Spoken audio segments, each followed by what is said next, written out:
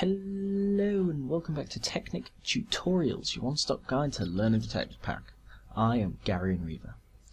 This time I'm showing you something from Thaumcraft. This is the Thaumic Infuser, and for this you'll need four iron ingots, three smooth stone, and a stone slab, and it has to be a proper stone slab from vanilla, and a V crystal.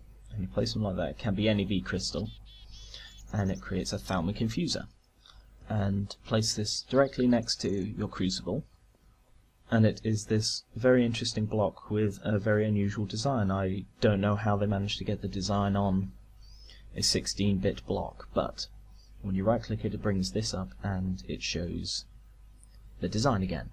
These are input slots, so you can have up to six things to infuse together and this is the output slot where the infused item will appear. This is another output slot where if you use a V crystal in your recipe, it has a chance of creating a depleted crystal, which is dropped out there. This is the progress bar, and this shows how sped up the uh, infusing process is by booster seals.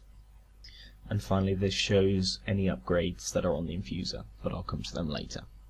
Although most things involved in infusing are specific recipes for things that are in their own right, there are a few basic recipes. So if you take any ordinary block of wood and a V crystal, progress goes up. It's a very quick process. It's created a depleted crystal and a single block of wood will create four enchanted wood. If you use great wood log, it creates five instead, so it's more efficient to use great wood for creating enchanted wood. And finally there is silver wood logs, which create something different.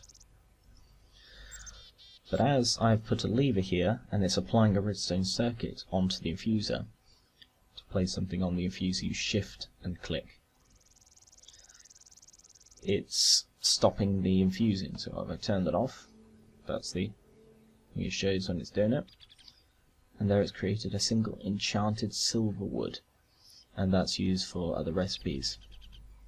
The reason the infuser has to be touching the crucible is it uses the raw V, as you can see the level has gone down and although there are ways to transfer V without it having to be directly touching, I'll be showing those in later videos.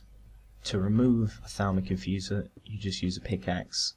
However, it will not show progress of the destruction, so you just have to keep hitting it until it breaks off. And then you can just replace it. Thank you for watching. If you have any requests, please comment or send me a YouTube mail and I shall endeavour to take a crack at them. Bye bye.